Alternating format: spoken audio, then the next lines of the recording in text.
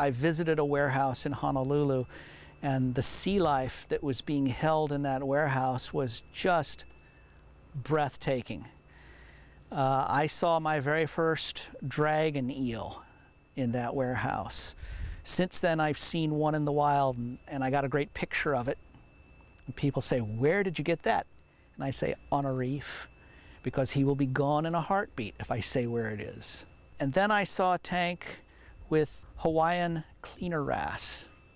Uh, and, and, and besides yellow tangs being the, uh, the brunt of the injury to Hawaii reefs, uh, the most soulful insult is the Hawaiian cleaner wrasse. He is endemic and he is technically described as a charismatic fish. The average uh, Hawaiian cleaner wrasse has a smile on his face. He's radiant yellow, purple, blue, black, and he's always on the move. He's irrepressible. He's in your face, he's over there. And it's this body language, it's non-stop body language, uh, that's an invitation to the other species to come in and be groomed. And the Hawaiian cleaner wrasse picks parasites from the skins and scales of other species of fish.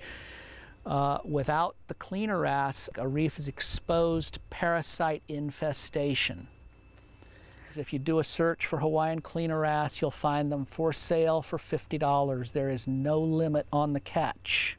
They ship out from Hawaii every day by the hundreds. They will die of starvation in 30 days unless they have 30 other fish to clean. Very few tanks, infinitesimally small fraction have 30 fish. And I was in this warehouse and I saw in several tanks there were Hawaiian cleaner wrasse. And I said, You have Hawaii cleaner wrasse? He said, Yeah. I said, They're going to die. He said, They're fun.